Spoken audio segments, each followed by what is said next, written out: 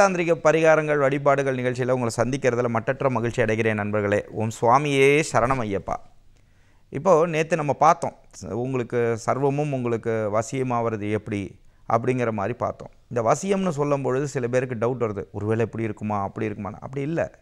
நீங்கள் எவ்வளோக்கு எவ்வளோ அந்த சக்தியோடு இருக்கீங்களோ அவ்வளோக்கு எவ்வளோ இருக்கீங்கன்றதுக்காக தான் அதை போட்டோம். அதுக்கு நல்ல ஒரு ஆதரவு கொடுத்தீங்க நிறைய பேர். அடுத்தது இப்போ நம்ம பார்க்கக்கூடியது விஷயங்கள் என்ன அப்படின்னா இது வந்து எப்படி ஆகும்னா கணவன் மனைவிக்குள்ளே சில பேருக்கு வந்து பார்த்திங்கன்னா அவங்களுக்குள்ள ஒரு அந்யோன்யமே இருக்காதுங்க. அந்யோன்யமே இருக்காதுன்னா கல்யாணம் ஆகிடும் அப்போ வந்து என்ன ஆகும் அப்படின்னா ஒரு கணவனாக இருக்கட்டும் இல்லை ஒரு மனைவியாக இருக்கட்டும் ஸோ அவங்களுக்குள்ள அது ஒரு இந்த மாதிரி விஷயங்களுக்கு வரும்பொழுது அவங்களுக்குள்ள ஒரு அன்பு ஏற்படுறதுக்கும் அதே போல் சில பேர் வீட்டில் எவ்வளோ தான் உழைச்சி கொண்டு வந்தாலும் இந்த கணவன் மனைவி ஒரு அந்யோன்யமாக இருக்கிற குடும்பங்களில் தான் லக்ஷ்மி கடாட்சம் வருங்கிறத புரிஞ்சுக்கணும். ஸோ இப்போ நான் சொல்லக்கூடிய விஷயங்களில் இந்த மாதிரி கணவன் மனைவி பிரச்சனைகள் இருக்குது அதே மாதிரி உங்களுக்குள்ள ஒரு வீட்டில் ஒரு பொருளாதார ரீதியாக இந்த எப்படி அவங்க ப்ராக்டிக்கலாக யோசிங்க? வீட்டில் சண்டை நடந்துக்கிட்டே இருக்குது கணவன் மனைவிக்குள்ளே சண்டையே இருக்குன்னா ஒரு ஒரு ரெஸ்ட்லெஸ் ஆகிடும் அந்த குடும்பமே இல்லையா? ஸோ அதனால உங்களுக்கு பணங்கள் வராதுங்கிறத தான் அந்த வேதங்களில் எப்படி நம்ம சாஸ்திரங்களில் சொல்லப்பட்டிருக்குன்னா இதனால பிரச்சனைகள் வரும்ன்ற சொல்லப்பட்டிருக்கு. இது ப்ராக்டிக்கலாக எடுத்துக்கோங்க.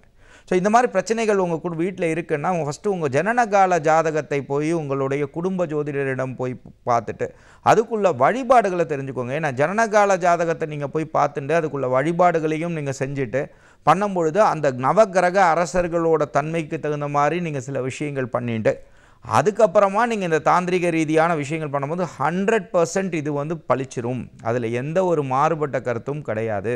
ஏன்னா உங்களுக்கு அந்த தசாபுத்தி அந்தரங்களில் ஒரு சில பிரச்சனைகள் இருந்து அந்த டயத்தில் அந்த வழிபாடை விட்டுட்டு இதை மட்டும் நீங்கள் செஞ்சுக்கும் போது என்ன ஆகிடும்னா இது வேலை செய்யும். ஆனால் குறைச்சி வேலை செய்யும். இதே அதுக்குள்ள வழிபாடையும் நீங்கள் செஞ்சுட்டு உங்கள் வீட்டிலேயே செஞ்சுக்கோங்க. அதே மாதிரி நீங்கள் அங்கே போகும்போதே பரிகாரம் என்ன அப்படி இப்படின்னு போட்டு இப்படி பில் போடுற மாதிரி அப்படிலாம் யோசிக்காதீங்க. அந்த பரிகாரம் என்பது நீங்களே அதை கற்றுட்டு அந்த வழிபாடுகளை நீங்கள் மனசார அண்டத்தில் இருக்கும் ஈசனை பிண்டத்தில் உணர்ந்தால்தான் அது பரிகாரம் ஆகுமே ஒழிஞ்சு அப்படி நீங்கள் புரிஞ்சுட்டு அந்த வழிபாடுகளையும் தெரிஞ்சுக்கும் போது அந்த ஜாதகத்தில் உள்ள குறைகள் நிறையா. நிறையா மாறும். நம்மக்கிட்ட கன்சல்டேஷன் வர்றவங்களுக்கு அதை பற்றி நல்லா தெரியும். ஸோ அது தவிர்த்து இந்த வழிபாடுகள் செஞ்சுக்கிறத நீங்கள் அமாவாசை தீதியிலையோ பௌர்ணமி தீதியிலையோ அஷ்டமி தீதியிலையோ அதே போல் நீங்கள் செஞ்சுக்க வேண்டியது பஞ்சமி தீதியிலையோ இதை ஸ்டார்ட் பண்ணலாம்.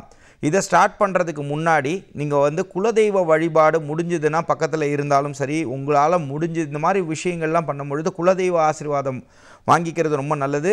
குலதெய்வ கோயிலுக்கு போயிட்டு வந்து அந்த மண்ணை எடுத்துகிட்டு வர்றதும் விசேஷ பலனை கொடுக்கும். இல்லைங்க நம்மளால் அங்கே போக முடியல அப்படின்னு சொன்னால் நீங்கள் என்ன செஞ்சுக்கணும்னா குலதெய்வத்தை வந்து டெய்லியே இது நான் சொல்கிறேங்க எல்லாருக்குமே சொல்கிறேன் இது குலதெய்வத்தை மனசார நினச்சி முதல் காசை குலதெய்வத்துக்கு எடுத்து வைங்க. இது இல்லாமல் இது நீங்கள் அப்போ தான் நீங்கள் எடுத்து வைக்கணும் பால்காரர் கொடுத்தேன் அதெல்லாம் பண்ணக்கூடாது. குலதெய்வத்துக்கு முதல் காசை எடுத்து வச்சுட்டு தான் நீங்கள் அடுத்த காசு கொடுக்கணும். அது ஒரு ரூபாயோ ஒரு டாலரோ ஏதோ இருக்கட்டும். அதை நீங்கள் எடுத்து வச்சுட்டு தான் அடுத்ததை நீங்கள் போகணுன்றது ஒரு இதுக்குள்ளே வந்துருங்க. அப்போ இதை பண்ணிவிட்டு அதே போல் உங்களுடைய நாட்கள் சன் சனிக்கிழமையிலேருந்து ஞாயிற்றுக்கிழமைக்குள்ளே ஏதாவது ஒரு நாளில் தான் நீங்கள் பிறந்திருப்பீங்க. அந்த நாளில் வரக்கூடிய பிரம்ம முகூர்த்த நேரத்தில் கார்த்தால எந்திரிச்சுக்கணும். இந்த விஷயங்கள் எல்லாமே இந்த சீரீஸில் நான் சொல்கிறது எல்லாமே இப்படி தான் நீங்கள் பண்ணணும் சரியா? இந்த பிரம்ம முகூர்த்த நேரத்தில் எந்திரிச்சிட்டு அப்போ நீங்கள் ரெண்டு நெய் தீப விளக்கை ஏற்றி வச்சுட்டு அதாவது அமாவாசையில் இருந்து நீங்கள் பண்ணும்பொழுது இது இல்லாமல் உங்களுடைய நாள் செவ்வாய்க்கிழமை நீங்கள் பிறந்திருந்தால் அந்த செவ்வாய்க்கிழமையில் இந்த நெய் தீப விளக்கும் ஏற்றி ப்ராக்டிஸ் பண்ணிக்கணும். அதுக்கப்புறம் நீங்கள் செஞ்சுக்க வேண்டிய விஷயம் என்ன அப்படின்னு கேட்டிங்கன்னா ருத்ராட்ச மாலையை எடுத்து வச்சுக்கோங்க. முதல்ல எப்பையும் போல தாங்க நீங்கள் வந்து விநாயகரோட வழிபாடு பண்ணணும். எந்த கடவுளை வழிபட்டாலும் முதற் கடவுளான விநாயகரோட வழிபாடை செஞ்சுக்கணும். அடுத்தது நீங்கள் செஞ்சுக்க வேண்டியது வந்து பார்த்தீங்க அப்படின்னா நீங்கள் செஞ்சுக்க வேண்டியது உங்கள் குலதெய்வ வழிபாடு. எந்த தெய்வத்தை வழிபட்டாலும் உங்கள் குலதெய்வ வழிபாடு செஞ்சால் மட்டும்தான் அந்த மாற்றங்கள் தெரியும். அடுத்தது நீங்கள் செஞ்சுக்க வேண்டியது உங்கள் ஜனனகால ஜாதகத்தில் உள்ள இஷ்ட தெய்வ வழிபாடை ஜோதிடரிடம் கேட்டு அந்த இஷ்ட தெய்வத்தையும் வழிபட்டதுக்கு பின்னாடி அதுக்கப்புறம் இந்த ருத்ராட்ச மாலை எடுத்துக்கணும். அதே மாதிரி அந்த அஞ்சனம் எப்படி செய்யணுங்கிறது இப்போ பழைய பதிவில் பார்த்தீங்கன்னாலும் தெரியும். இல்லை ஷார்ட்டாக சொல்லிடுறேன். தர்பப்புல்லை எடுத்துக்கணும். தர்பப்புல்லை எடுத்துகிட்டு ஓம் சிவ சிவ ஓம்னு சொல்லிவிட்டு அதை ஒரு இதில் போட்டுட்டு அதை நீங்கள் அதை நீங்கள் எரிக்கணும். பச்சை கற்பூரத்தை போட்டு எரிக்கணும். எரிச்சிட்டு அதில் நீங்கள் கொஞ்சம் மரகஜாவும் கொஞ்சோண்டு இதையும் போட்டுட்டு நீங்கள் அதை மையாக அரைச்சி கையில் அரைச்சி வச்சுக்கலாம். ஒருவேளை இந்த மாதிரி அஞ்சனம் உங்களுக்கு வேணும் உங்கள் ஜாதகப்படி வேணும்னாலும் எங்கள்கிட்ட கிடைக்கிது. அது வேணுங்கிறவங்க உங்களுடைய நட்சத்திரம் ராசி லக்னம் இந்த மாதிரி விஷயங்கள் நீங்கள் சொன்னீங்க அப்படின்னு சொன்னால் அதுக்குள்ள காஸ்ட் நீங்கள் பேர் பண்ண முடிஞ்சால் எங்கள்கிட்ட வாங்கிக்கலாம். ருத்ராட்ச மாலையும் சரி உங்களுக்கு துளசி மணி மாலையும் சரி அதே மாதிரி இந்த மாதிரி நான் சொல்லக்கூடிய இதுவும் சரி மணிமாலைகளும் எங்கள்கிட்ட கிடைக்கும். சரிங்களா? இது வேணும்னாலும் நீங்கள் ஆர்டர் பண்ணி வாங்கிக்கலாம். இதை நீங்கள் எடுத்துகிட்டு நீங்கள் ருத்ராட்ச மாலையை எடுத்துக்கணும். ருத்ராட்ச மாலையை எடுத்து வச்சுட்டு நீங்கள் செஞ்சுக்க வேண்டியது வந்து இப்போ நீங்கள் செய்ய வேண்டியது இந்த நடுவிரலில் எடுத்துக்கோங்க.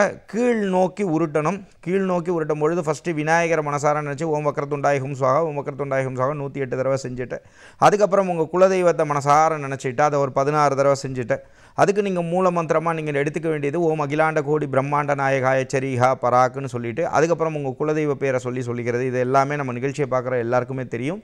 அடுத்த லெவலில் இப்போ புதுசாக பார்க்குறவங்களுக்காக சொல்கிறேன் அடுத்த லெவலில் நீங்கள் செஞ்சிக்க வேண்டியது நீங்கள் செய்ய வேண்டிய மந்திரம் என்ன? அப்படின்னு கேட்டிங்கன்னா நீங்கள் செஞ்சிக்க வேண்டிய மந்திரம் வந்து பார்த்தீங்கன்னா ஓம் சிவைய நம ஓம் சிவைய நம ஓம் சிவைய நம அப்படிங்கிறத மந்திரத்தை சொல்லிகிட்டே இருங்க. ஓம் சிவைய நம ஓம் சிவைய நம ஓம் சிவைய நமன்னு விடாமல் ஒரு நூற்றி எட்டு தடவை. இது என்ன இதில் என்ன தா அந்த சாஸ்திரப்படி மந்திர சாஸ்திரத்தில் என்ன சொல்லியிருக்குன்னா அதர்வண வேத ரீதியான உள்ள மந்திர சாஸ்திரத்தில் என்ன சொல்லுதுன்னா இது லட்சத்தி எட்டு முறை பண்ணும் பொழுது சித்தியாகும்னு சொல்லுது. அப்போ லட்சத்தி எட்டு முறை நீங்கள் ஒரே நாளில் செய்ய முடிஞ்சால் செய்யுங்க அந்த டைம் ஃபேக்டர். இல்லைன்னா நீங்கள் ஒரு நூற்றி எட்டு நூற்றி எட்டு நூற்றி எட்டாக சொல்லிகிட்டே வரும் பொழுதே அந்த லட்சத்தி எட்டு தாண்டும் பொழுதே இது சித்தியாகுங்கிறதுல எந்த ஒ- எந்த ஒரு மாறுபட்ட கருத்தும் கிடையாது. அப்போ நீங்கள் கீழே உட்காந்துருக்கும் போது வெறும் தரையில் உட்காரக்கூடாது.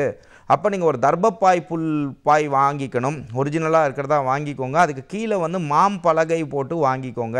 மாம்பலகை போட்டு அதுக்கு மேலே இதை போட்டு அதை வெறும்னா தர்பப்பாயில் உட்காந்திங்கன்னா உட்கார்ற இடம் வந்து பார்த்தீங்கன்னா அந்த இடத்துல புண்ணு வந்துடும் சரிங்களா? அதை கட்டி கட்டியாக வரும். ஏன்னா தர்பப்புல்லுக்கு வந்து ஒரு ஆகுர்ஷண சக்தி உண்டு. சரிங்களா? அதனால் பயந்துக்கக்கூடாது தர்ப தர்பைக்குன்னு ஒரு சக்தி உண்டு. அதனால அதை வெறும்ன போட்டு உட்காராம அப்புறம் ஹீட் ஆகி கொப்பளம் வந்துருச்சுன்னு பயந்துக்க கூடாது. சரியா? அதனால அதுக்கு மேலே வந்து பட்டு துணி போட்டுக்கோங்க. அது வெண்பட்டு போட்டுக்கலாம் இல்லை மஞ்சள் நிற பட்டு போட்டுக்கலாம். இதை போட்டுட்டு அதுக்கப்புறமா இந்த ஜ இது இந்த ஜபத்தை நீ விடாமல் நீங்கள் நூற்றி எட்டு தடவை சொல்கிறது இது நீங்கள் செய்ய வேண்டிய பூஜைகளுக்கு வந்து நாற்பத்தெட்டு நாள் பண்ணணும். அதில் பெண்களாக இருக்கிறவங்க முப்பது நாளில் உங்களுக்கு இந்த விஷயங்கள் வந்து உங்களுக்கு அந்த ஐந்து நாள் கழிச்சுட்டு நீங்கள் தொடர்ந்து இந்த நாற்பத்தெட்டு நாள் பூஜைகள் செய்யலாம். இந்த நாற்பத்தெட்டு நாள் பூஜைகள் செய்யும் பொழுது இதை மனசார நினச்சிட்டு செய்யும்போது இதுக்கு நீங்கள் எதுவுமே வேண்டவே வேண்டாம். உங்களோட பிரச்சனைகள் எல்லாமே கடவுளுக்கு தெரியும். சரிங்களா? இப்போ நீங்கள் மனசார இதை செஞ்சுட்டே வரும்பொழுது என்ன ஆகும்னா இந்த கணவன் மனைவிக்குள்ளே இருக்கக்கூடிய ஒற்றுமைகள் ஜாஸ்தியாகும். நான் சொல்கிறது புரியுதுங்களா? இந்த மந்திரத்தை நீங்கள் சொல்லிகிட்டே இருக்கும் பொழுது அதே மாதிரி அவங்களுக்குள்ள ஒரு அந்யோன்யம் ஏற்படும். அந்யோன்யம் ஏற்படும் பொழுது இது இல்லாமல் உங்கள் வீட்டில் என்ன வரும்னா தனதானியங்கள் சேரும். தனதானியங்கள் சேரும்னா லக்ஷ்மி கடாட்சங்கள் உருவாகும். அதில் எந்த ஒரு இதுவும் இல்லை. இந்த விஷயத்தை நீங்கள் செஞ்சுட்டே வரும்பொழுது இந்த மந்திரத்தையும் நீங்கள் சொல்லிட்டு விடாமல் நீங்கள் செஞ்சுட்டே வரும்பொழுது உங்களுக்கு என்ன ஆகும்னா நல்ல மாற்றங்கள் இருக்கும். ஒருவேளை உங்களுடைய ஜனனகால ஜாதகத்தை எங்களிடம் நீங்கள் கணிச்சுக்கணும். உங்கள் ஜாதகத்துப்படியும் சில தாந்திரிக ரீதியான வழிபாடுகளும் சில வழிபாடுகள் மூலமாக சில பிராயச்சித்தமும் தெரிஞ்சுக்கணும்னு ஆசைப்பட்டாலும் பின்னாடி உள்ள நம்பருக்கு நீங்கள் காண்டாக்ட் பண்ணலாம் நண்பர்களே.